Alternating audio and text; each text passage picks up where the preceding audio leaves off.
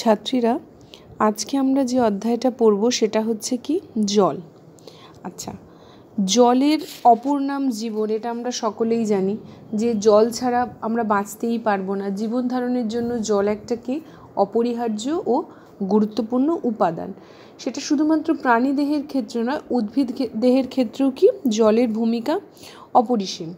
আমরা প্রথমেই দেখব যে উদ্ভিদ দেহে জলের ভূমিকা কী। আমরা সকলেই জানি যে জল ছাড়া কখনো বীজের অঙ্কুরোদ্গম সম্ভব নয়। অর্থাৎ অঙ্কুরোদ্গমের জন্য তাহলে জলের প্রয়োজন, এছাড়া উদ্ভিদের বৃদ্ধির জন্য জলের প্রয়োজন। আবার উদ্ভিদের সালোক সংশ্লেষের জন্য জলের প্রয়োজন। তারপর মাটি থেকে যখন উদ্ভিদ প্রয়োজনীয় খনিজ লবণ শোষণ করে, সেই খনিজ লবণের শোষণের জন্য কি উদ্ভিদের জলের প্রয়োজন হয়? এবং উদ্ভিদের যে সমস্ত বিপাক ক্রিয়াগুলো সম্পন্ন হয়, উদ্ভিদ দেহে, সেই বিপাক ক্রিয়াগুলো সম্পন্ন করার জন্য কি হয়? জলের প্রয়োজন হয়। এগুলো আমরা সবাই মোটামুটি জানি, তাও একবার বলে নেওয়া। তাহলে আমরা দেখলাম কি যে উদ্ভিদ দেহেও জলের ভূমিকা কি হচ্ছে? অপরিসীম। এবার দেখো, প্রাণী দেহে জলের ভূমিকা। আমরা নিজেরাই জানি, জল ছাড়া আমরা এক মুহূর্ত বাঁচতে পারব না। কীরকম? প্রাণীদেহে খাদ্য গ্রহণ পরিপাকের জন্য জল প্রয়োজন। এছাড়া উন্নত যে প্রাণীদেহগুলো আছে, তাদের প্রধান সংবহন মাধ্যম হচ্ছে রক্ত। ঠিক আছে? রক্তই হচ্ছে প্রধান সংবহন মাধ্যম। সেই রক্তের প্রায় নাইনটি ওয়ান পারসেন্ট মানে নাইনটি থেকে নাইনটি ওয়ান পারসেন্ট তার কী থাকে? জল থাকে। বোঝা গেল? এবং এই যে জলীয় দ্রবণের মাধ্যমে যে পুষ্টিরস, হরমোন, উৎসেচক এবং বিভিন্ন বিপাক জাতীয় পদার্থ শরীরের এক স্থান থেকে কি হয়? অন্য স্থানে সংবাহিত হয়। তাহলে উন্নত প্রাণীদেহের ক্ষেত্রে প্রধান সংবহন মাধ্যমটা হচ্ছে কি রক্ত, আর রক্তের আবার কি নাইনটি থেকে নাইনটি ওয়ান পারসেন্ট থাকে জল। এছাড়া দেহের কোষে যে আমাদের নানা রকম বিপাক ক্রিয়া সম্পন্ন হয়, তার জন্য কি হয়? একান্তভাবে জলের প্রয়োজন হয়। প্রাণীরা জলের মাধ্যমে বিভিন্ন বিপাক জাতীয় দূষিত পদার্থ দেহের বাইরে বার করে দেয় এবং দেহকে শীতল রাখার জন্য জল ঘামের মাধ্যমে বাষ্পীভূত হয়। কি হয় আমরা জানি যখন আমাদের ঘাম হয়, আমাদের গায়ে যে ফোটা ফোটা জলবিন্দু জমা হয়, সেগুলো কি হয়? বাষ্পীভূত হয়। বাষ্পীভবনের জন্য কি? বাষ্পীভবন মানে কি? তরল থেকে এবার আমরা বাষ্পে যাচ্ছি মানে কি? একটা অবস্থার পরিবর্তন হচ্ছে। তাই জল যখন তরল থেকে বাষ্পে পরিণত হবে, আমরা জানি বাষ্পীভবনের জন্য একটা লিন তাপ প্রয়োজন। তাহলে লিন তাপের তাপটা কোথা থেকে নেবে? জল শরীর থেকে নেবে, যার ফলে কি হবে? দেহকে শীতল করে দেবে। তাহলে দেহকে শীতল রাখার জন্যও কি জল ঘামের মাধ্যমে বাষ্পীভূত হয়। এছাড়া বিভিন্ন জলজ প্রাণী বসবাসের জন্যও কি জল অপরিহার্য? কারণ জলজ প্রাণীরা জল ছাড়া তো বসবাস করতে পারবে না। তাহলে তাদের বসবাসের জন্যও কি জল অপরিহার্য? ঠিক আছে, তাহলে এই গেল উদ্ভিদ দেহ এবং প্রাণী দেহে জলের ভূমিকা। এবার দেখো, জলের ভৌত ধর্মটা সম্বন্ধে আমরা জানব। জলের ভৌত ধর্ম মোটামুটি আমরা অনেকটাই জানি। আমরা যেমন জানি জলের সাধারণ তাপমাত্রায় জল কি হয়? তরল হয়। জল বর্ণহীন হয়। তরল মানে আমরা জানি জল তরল। আর বর্ণহীন কেন বলছি? জলের কোনো কালার থাকে না, তাই জল বর্ণহীন। ঠিক আছে? এবার একটা কথা ভালো করে বুঝবে। জলের আপেক্ষিক তাপটা হচ্ছে কি? সব থেকে বেশি হয়। মানে সব থেকে বেশি না হলেও অন্তত উচ্চ আপেক্ষিক তাপ বিশিষ্ট হয়। কীরকম বলছি দেখো? আপেক্ষিক তাপ বেশি হওয়ার কারণে কি হয়?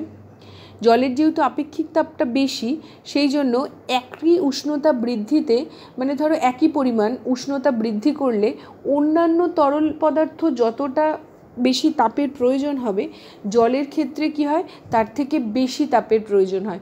ধরো আমি দুটো তরল নিয়েছি, একটা পাত্রে জল নিয়েছি, একটা পাত্রে অন্য তরল নিয়েছি। দুটো ক্ষেত্রেই আমি ভাবছি এক ডিগ্রি করে বা দু ডিগ্রি করে উষ্ণতা বৃদ্ধি করব। জলের ক্ষেত্রে কি হয়? সেক্ষেত্রে বেশি তাপ দিতে হবে। অন্য তরলের ক্ষেত্রে কম দিতে হবে। ফলে কি হবে? পরিবেশের যদি উষ্ণতাটা বৃদ্ধি পেয়েও যায়, বড় দেহ বিশিষ্ট প্রাণীদের কি হবে? দেহের তাপ নির্দিষ্ট থাকবে। ঠিক আছে? কারণ কি? আমাদের দেহে অনেক পরিমাণ জল থাকে। এছাড়া দেখো, জলের স্ফুটনাঙ্ক হচ্ছে কি? একশো ডিগ্রি সেন্টিগ্রেড আমরা সবাই জানি। স্ফুটনাঙ্ক বেশি হওয়ার জন্য কি হচ্ছে? বাষ্পীভূত হওয়ার জন্য জলের বেশি পরিমাণ লিন তাপের প্রয়োজন হয়। এর ফলে কি হয়? যখন ঘাম হয় মানে আমরা, আমাদের শরীরটাকে শীতল রাখতে পারি। কীভাবে রাখতে পারি? যখন গরমকালে আমাদের ঘাম হয়, সেই জলটা কি হয়? আমাদের গা থেকে ধীরে ধীরে বাষ্পীভূত হয়। যেহেতু এর স্ফুটনাঙ্ক একশো ডিগ্রি সেন্টিগ্রেড, তাই জন্য বাষ্পীভবনের জন্য বেশি লিনতাপ দরকার। আর বেশি লিন তাপটা সে কোথা থেকে সংগ্রহ করবে না, আমাদের দেহ থেকে সংগ্রহ করবে। ফলে কি হবে? আমাদের দেহ শীতল হয়ে যাবে। ঠিক আছে? এছাড়া জল কৈশিক ক্রিয়া দেখায়। যেমন হচ্ছে দেখো, ভূপৃষ্ঠের নিচে মাটির কণাতে জলবিন্দু আবদ্ধ থাকে। উদ্ভিদ মূলরমের সাহায্যে ওই কৈশিক জল শোষণ করে কি করে? সালোক সংশ্লেষ ক্রিয়া সম্পন্ন করে। আর জলের একটা সবথেকে ভালো ধর্ম যেটা হচ্ছে জল সার্বজনীন দ্রাবক, যেটা আমরা দ্রবণের ক্ষেত্রে পড়েছিলাম। মোটামুটি সব রকম জিনিসই জলে দ্রবীভূত হয়। সেই জন্য জলকে আমরা কি বলব? একটা সার্বজনীন দ্রাবক।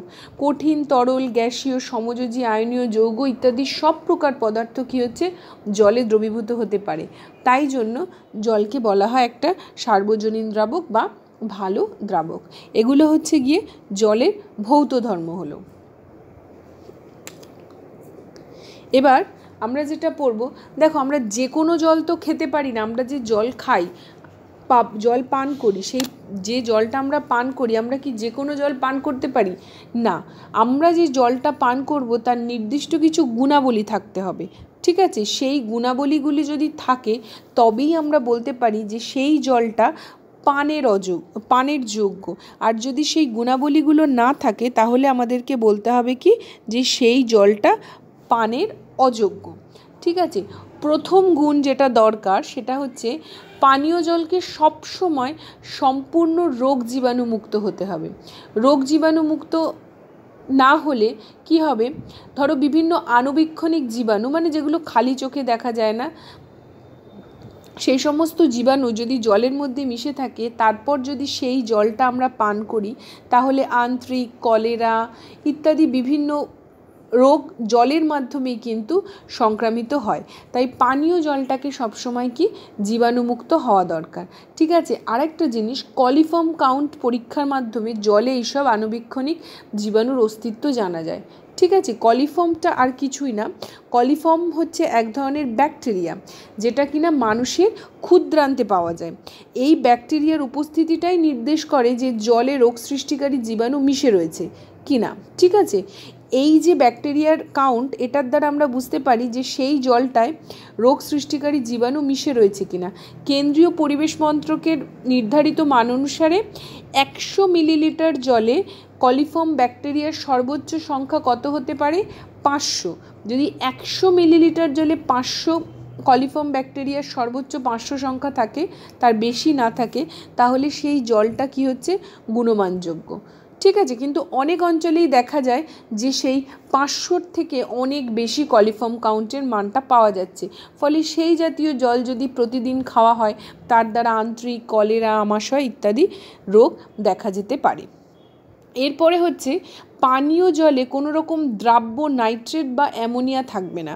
ঠিক আছে মানে দ্রাব্য মানে যেটা জলের মধ্যে একদম মিশে থাকবে আমরা দেখতে পাবো না, তাহলে সেই নাইট্রেট বা অ্যামোনিয়া থাকা চলবে না। নাইট্রেট বা অ্যামোনিয়া থাকলে কী হবে? আমাদের সেটা, সেই জলটা যদি আমরা পান করি, সেটা স্বাস্থ্যের পক্ষে অত্যন্ত ক্ষতিকারক হবে। এছাড়া পানীয় জলে লেড, কপার, প্রভৃতি ধাতুর লবণ থাকবে না। এই কপার, লেড ইত্যাদি ধাতুগুলোর লবণ অত্যন্ত বিষাক্ত। এরা যদি শরীরে প্রবেশ করে, নানা রকম রোগ দেখা যাবে। এবার পানীয় জলের পিএইচ মাত্রাটা সবসময় যেন সঠিক হয়। মানে যে পিএইচটা দরকার মানে অ্যাসিড খার যদি বেশি ক্ষারীয় বা বেশি আম্লিক হয়ে যায়, তাহলে সেই জলটা যদি আমরা খাই, তাহলে আমাদের দেহে যে অ্যাসিড খার একটা ভারসাম্য আছে, যেটা আমরা পড়েছি অ্যাসিড বেস চ্যাপ্টারটাতে সেই অ্যাসিড খার ভারসাম্যটা কী হবে নষ্ট হবে। ঠিক আছে? এবার দেখো তারপরে যেটা পানীয় জলের জন্য দরকার, সেটা হচ্ছে পানীয় জলে দ্রবীভূত অক্সিজেন থাকা খুব দরকার। সেই অক্সিজেনের মাত্রাটা হচ্ছে লিটার প্রতি সিক্স মিলিগ্রাম বা তার বেশি। মানে সিক্স মিলিগ্রামের বেশি থাকলে ভালো, কিন্তু কোনোভাবেই সিক্স মিলিগ্রামের কম থাকা চলবে না। কারণ অক্সিজেনযুক্ত জল যদি আমরা পান করি, সেটা কী হবে? অত্যন্ত স্বাস্থ্যকর। এর ফলে খাদ্যবস্তু জারণের জন্য, বিপাক্রিয়া স্বাভাবিক রাখার জন্য এই অক্সিজেনটা অত্যন্ত আবশ্যক। ফলে জলে দ্রবীভূত অক্সিজেনটা যেন মাত্রা লিটার প্রতি ছ মিলিগ্রাম বা তার বেশি থাকে, তার কম যেন না থাকে। ঠিক আছে? এবার পানীয় জলে সামান্য পরিমাণ ক্লোরাইড লবণ থাকাটাও দরকার। দেখো, পানীয় জলে সামান্য sodium, potassium, magnesium, calcium, chloride লবণ জলকে সুস্বাদু করে এবং স্বাস্থ্য রক্ষা এরা কিনা সাহায্য করে। ঠিক আছে?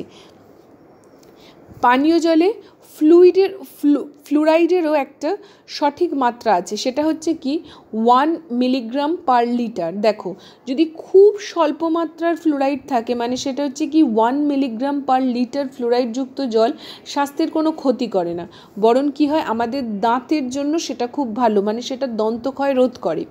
কিন্তু যদি অধিক মাত্রায় ফ্লুরাইড থাকে মানে এই ওয়ান মিলিগ্রামটা যদি ফাইভ মিলিগ্রাম বা টেন মিলিগ্রাম হয়ে যায়, তাহলে সেই জল পান করলে ফ্লুরোসিস রোগ হয় মানে ফ্লুরাইড দূষণ থেকে একটা রোগ হয়, সেটাকে কি বলা হয়? ফ্লুরোসিস রোগ। এই ফ্লুরোসিস রোগে তাহলে আক্রান্ত হওয়ার সম্ভাবনা থাকে। আর পানীয় জলকে হতে হবে কি? আর্সেনিক মুক্ত। লিটার প্রতি পানীয় জলে যদি জিরো পয়েন্ট একেবারে মুক্ত জল আমরা কত পাবো সেটা আমি বলতে পারব না, কিন্তু মানে যদি বা থাকে সেটা যেন কোনো মত্রে কোনো মতে জিরো পয়েন্ট জিরো ফাইভ মিলিগ্রামের বেশি আর্সেনিক কোনো মতে যেন উপস্থিত না থাকে। তাহলে সেই জলটা আর স্বাস্থ্যসম্মত থাকে না। বোঝা গেল? তাহলে পানীয় জলের গুণগুলো কি? এক তো রোগ জীবাণুমুক্ত হবে কলিফর্ম কাউন্টটা যেন পাঁচশোর বেশি না হয় নাইট্রেট অ্যামোনিয়া ইত্যাদি যেন না থাকে। কপার লেড প্রভৃতি লবণও যেন না থাকে পিএইচের মাত্রা ঠিক থাকবে, দ্রবীভূত oxygen six milligram per litre থাকবে। খুব সামান্য ক্লোরাইড সোডিয়াম ম্যাগনেশিয়াম প্রভৃতির যে ক্লোরাইড, সেই লবণটা যদি দ্রবীভূত থাকে, তাহলে জলকে সুস্বাদু করতে পারে। এছাড়া যদি ফ্লুরাইডের মাত্রাটা কি করতে হবে, সঠিক থাকবে। মানে সেটা খুব কম ওয়ান মিলিগ্রাম পার লিটার এই মাত্রাটা যদি থাকে, তাহলে সেটা দাঁতের জন্য ভালো হয়। কিন্তু যদি কোনো কারণে ওয়ান থেকে বেড়ে সেটা পাঁচ, সাত, দশ ইত্যাদি হয়ে যায়, তাহলে সেটা ক্ষেত্রে ফ্লোরোসিস রোগে আক্রান্ত হওয়ার সম্ভাবনা থাকে। আর পানীয় জলকে আর্সেনিক মুক্ত হতে পারবে, হতে হবে point zero point zero point zero five milligram per লিটারের বেশি কোনো মতেই যেন আর্সেনিক না থাকে। বোঝা গেল? এরপর যেটা হচ্ছে সেটা হচ্ছে কলিফর্ম কাউন্ট ওই যে বললাম কলিফর্ম হচ্ছে এক প্রকার ব্যাকটেরিয়া যা মানুষের ক্ষুদ্রান্তে থাকে। এই ব্যাকটেরিয়ার উপস্থিতিটা নির্দেশ করে যে জলটা কতটা পানীয় যোগ্য বা জলে রোগ সৃষ্টিকারী জীবাণু মিশে রয়েছে কিনা। মানে এটা যদি একশো মিলিলিটার জলে কলিফর্ম ব্যাকটেরিয়ার যদি সর্বোচ্চ সংখ্যা পাঁচশো হয়, তাহলে বলতে পারি সেই জলটা গুণমানযোগ্য। কিন্তু অধিকাংশ অঞ্চলেই কী হয়, তার থেকে অনেক বেশি থাকে, ফলে কী হয়, এই আন্তরিক কলেরা ইত্যাদি রোগ দেখা যায়। ঠিক আছে, এবার দেখো জল পরিশোধন এবং পানীয় জল প্রস্তুতি। ঠিক আছে? আমাদের পানীয় জলের উৎসগুলো আমরা কি কি জানি? কুয়ো, পুকুর, ঝর্ণা, গভীর নলকূপ ইত্যাদি টিউবওয়েল কিন্তু সব রকম জল পানীয় জল হিসেবে ব্যবহার করা যায় না। কারণ কি ওই যে পানীয় জলের এই যে গুণগুলো আছে, সেই গুণগুলো সব রকম জলে পাওয়া যায় না।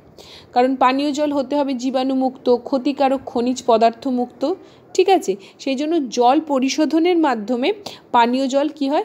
প্রস্তুত করা হয়। এই জল শোধনের কিছু পদ্ধতি আছে। প্রথম পদ্ধতিটা দেখো, জলে ভাসমান পদার্থের দূরীকরণ। আচ্ছা জলে ভাসমান পদার্থের দূরীকরণটা কি হবে? বড় বড় ট্যাঙ্কের মধ্যে কি করতে হবে? জলটাকে রাখতে হবে। রেখে সেটাতে ফিটকিরি মেশাতে হবে। ফিটকিরি মেশালে কি হবে? জলে যে ভাসমান অপদ্রব্য আছে মানে অপদ্রব্য বলতে কি? কাদামাটি সূক্ষ্ম বালি অ্যালুমিনিয়াম হাইড্রক্সাইড, কয়েকটি ব্যাকটেরিয়া, সেগুলো কি হবে? নিচে থিতিয়ে পড়বে। এরপর ওই জলকে ফিল্টার করা হবে। তাহলে জলে ভাসমান পদার্থের দূরীকরণ হচ্ছে কীভাবে করা হয়?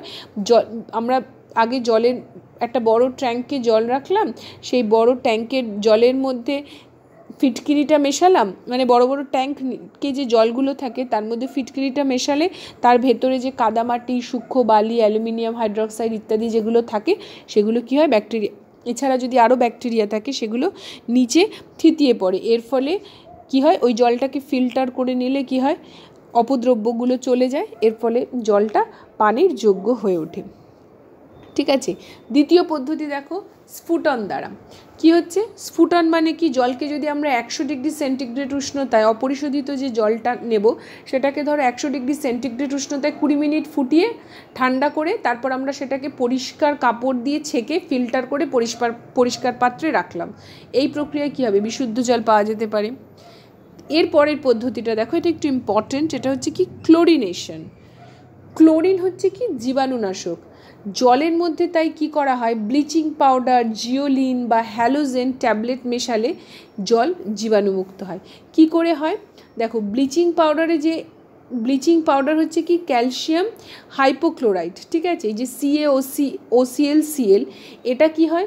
জলের সঙ্গে যুক্ত হয়, যুক্ত হয়ে ক্যালসিয়াম হাইড্রক্সাইড আর ক্লোরিন উৎপন্ন করে। যেই ক্লোরিনটা, দেখো, জলের সঙ্গে বিক্রিয়া করে এইচসিএল আর জাইমান অক্সিজেন উৎপন্ন করে। এই জাইমান অক্সিজেন কি হয়? জলকে জীবাণুমুক্ত করতে সাহায্য করে। বোঝা গেল?